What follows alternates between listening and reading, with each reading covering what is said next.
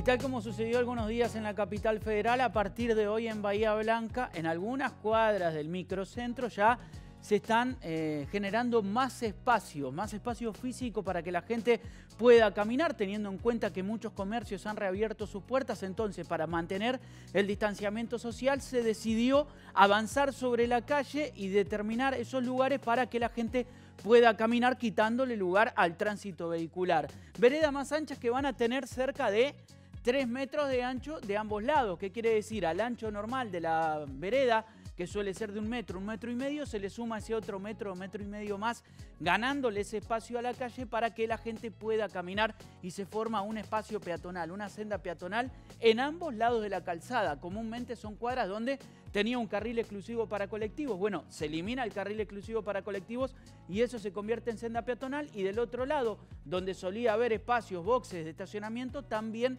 se gana ese lugar para que la gente pueda caminar. Con un objetivo claro, que es el siguiente dato, que es eh, lograr que la gente pueda mantener ese distanciamiento social. En esta primera etapa, primera etapa de prueba, hay dos ejes donde ya a partir de hoy se pueden encontrar estas veredas más anchas. El eje Belgrano Donado entre San Martín y Brown es uno de los lugares y el otro es calle Chiclana entre O'Higgins y Fitzroy. Pero esto es la primera etapa, podría continuar con otras cuadras del centro y con otros centros comerciales fuera del centro de la ciudad. Por ejemplo, el eje de calle Don Bosco o en Villamitre, donde se concentran bancos y comercios, en una nueva etapa podría tomarse la misma medida, dejar veredas más anchas y de esa manera permitir la circulación de gente por el centro de la ciudad o por estos centros comerciales, respetando ese metro y medio, dos metros de distancia para evitar contagios. De esta situación en particular y de cómo se viene, pudimos hablar con eh, los funcionarios municipales que hablaban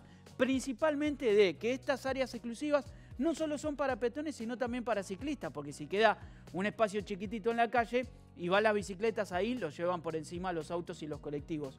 Y además, el espacio que queda liberado para el tránsito vehicular, la máxima se reduce de 40 a 30 kilómetros por hora justamente para evitar accidentes. Tomás Marisco, que es el titular del área de movilidad de la municipalidad, brindó algún detalle más sobre cómo se van a implementar estas veredas ensanchadas.